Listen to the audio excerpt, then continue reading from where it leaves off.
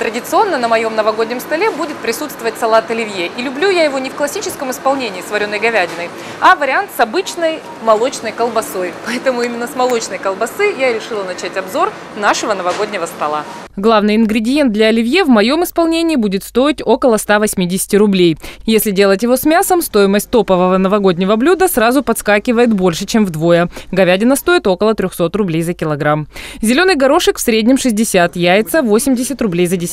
Специалисты Росстата подсчитали, что стоимость новогоднего стола в этом году для семьи из четырех человек обойдется примерно в 6 тысяч рублей. Готовить буду, как всегда, оливье, вкусняшки всякие, уточку с яблочками, мандаринки будут, конечно, на столе, бананы и всякие разные вкусности. Утка на новогодний стол Татьяне и другим любителям этой птицы обойдется примерно в 450 рублей за килограмм. Яблоки в среднем по 100 рублей.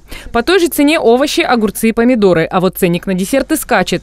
Килограмм конфет в среднем 250 рублей, а что посущественнее, например, торт от 600 рублей и выше. Еще, конечно, что-то будем придумывать, украшать и разнообразить, разнообразивать стол, чтобы это доставило всем радость и удовольствие на новогодний вечер.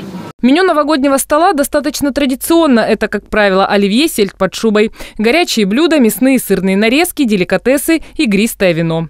Картофель – основная составляющая почти всех блюд, салатов и гарнира – от 20 рублей за килограмм. Зелень – 30 рублей 100 граммов. Деликатесы – шпроты от 100 рублей, сервелат – от 200 рублей за упаковку, нарезка из соленой нерки – 249 рублей за 150 граммов, красная икра – около 400 рублей за баночку в 100 граммов. Сумма нашей новогодней продуктовой продуктовой корзины почти совпала с данными Росстата – около 6,5 тысяч рублей. Заметим, без учета алкоголя. Именно такую сумму надо иметь в кармане среднестатистической приморской семье, чтобы вкусно посидеть за новогодним столом. Светлана Садовая, Дмитрий Сухоруков. Новости на восьмом.